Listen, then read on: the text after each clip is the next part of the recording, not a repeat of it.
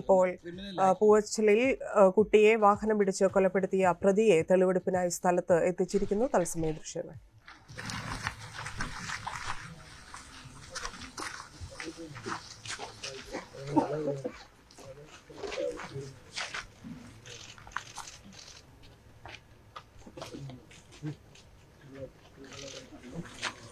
കിട്ടുന്നുണ്ടല്ലോ hello hello hello hello hello. ഒരു പ്രതിഷേധ സാധ്യത തള്ളിക്കളയാനാകില്ല. കഴിഞ്ഞ ദിവസം തന്നെ അവിടെ നാട്ടുകാരെല്ലാം വലിയ പ്രതിഷേധത്തിലായിരുന്നു.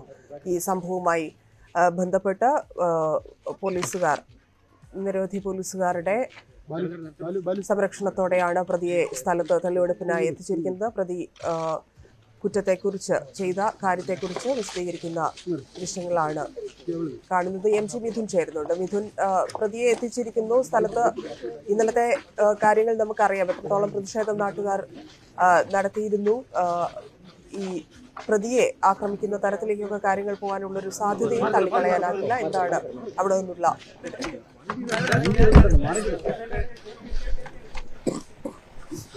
ആ ധന്യ ഇപ്പോൾ പ്രതിയെ ഇവിടെ കൊണ്ടുപോവുകയാണ്.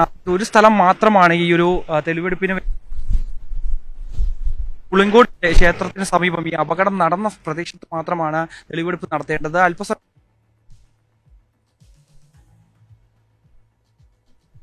നടത്താനുള്ള സാധ്യത അന്വേഷിച്ചിരുന്നു. അതിനുശേഷമാണ് ഇപ്പോൾ പ്രതിയുമായി കൃത്യം നടന്ന സ്ഥലം പ്രതി ചൂണ്ടിക്കാണിച്ചു കൊടുക്കുന്നു. ഒപ്പം തന്നെ എന്ത് സാഹചര്യത്തിലാണ് തീരുമാനത്തിലേക്ക് എത്തി അല്ലെങ്കിൽ ഇത്തരത്തിലൊരു ക്രൂര കൃത്യത്തിലേക്ക് എത്തിയതോ എന്നുള്ള കാര്യങ്ങളൊക്കെ പോലീസിനെ പ്രതി വിശദീകരിച്ചിരിക്കുന്നു എന്ന് തന്നെയാണ് നമുക്ക് മനസ്സിലാക്കാൻ സാധിക്കുന്നത് ഇന്ന് രാവിലെ രാവിലെ മോട്ടോർ വിഭാഗം ഈ ചിത്ര പ്രതി ചിത്രത്തിന്റെ ആ, വാ- വാഹനവും ഒപ്പം തന്നെ പത്താം ക്ലാസ്സുകാരന്റെ സൈക്കിളും എത്തി പരിശോധിക്കുകയും ചെയ്തിരുന്നു. കൂടാതെ അതിനുശേഷം പ്രതിയെ ഈ കാട്ടാക്കട ഗവൺമെന്റ് താലൂക്ക് ഹോസ്പിറ്റലിലേക്ക് വൈദ്യ വൈദ്യപരിശോധനയ്ക്ക് കൊണ്ടുപോവുകയും ചെയ്തിരുന്നു. അതിനുശേഷമാണ് ഇപ്പോൾ പ്രതിയെ ഈ പുളിങ്കോട് ദേവീക്ഷേത്രത്തിന് സമീപം ഈ ഒരു അപകടം നടന്ന സ്ഥലത്തേക്ക് ഇപ്പോൾ എത്തിച്ചിരിക്കുന്നത് എന്തായാലും ഇതിനുശേഷം ഇപ്പോൾ അല്പസമയത്തിനകം തന്നെ ഇപ്പോൾ ഇവിടെ ആളുകളൊക്കെ തന്നെ തടിച്ചുകൂടിയിരിക്കുന്ന ഒരു സാഹചര്യം തന്നെയാണുള്ളത്. അതുകൊണ്ട് തന്നെ അക്രമ സംഭവങ്ങൾ ഉണ്ടാകാനുള്ള സാധ്യത കൂടി കണക്കിലെടുത്തുകൊണ്ട് തന്നെയാണ് ഇപ്പോൾ പ്രതിയെ എത്തിച്ചതിന് ശേഷം തിരികെ കൊണ്ടുപോവുകയും ചെയ്തിരിക്കുന്നത്. ഇപ്പോൾ വലിയ ആളുകൾ ഈ മേഖലകളിൽ തടിച്ചുകൂടിയിരിക്കുന്ന സാഹചര്യമാണ് നമുക്ക് ഈ ദൃശ്യങ്ങളിലൂടെ കാണാൻ സാധിക്കുകയും ചെയ്തത് നാടിനെ വലിയ ക്രൂരമായ ഒരു സംഭവം ക്രൂരമായ ഒരു കൃത്യം ഒരു ഒരു സ്വാഭാവിക അപകടം എന്ന രീതിയിൽ മാറിപ്പോകാവുന്ന കേസിന് തെറ്റുവായതും ഈ ഒരു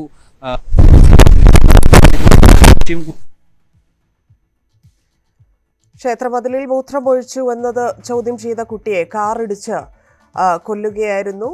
ആ, പ്രതിയെ പ്രിയരഞ്ജൻ എന്ന പ്രതിയെ ആർ എസ് എസ് പ്രവർത്തകൻ കൂടിയാണ് പ്രിയരഞ്ജനെ ഇപ്പോൾ തെളിവെടുപ്പിനായി സംഭവ സ്ഥലത്ത് എത്തിച്ച ദൃശ്യങ്ങളാണ് കണ്ടത്.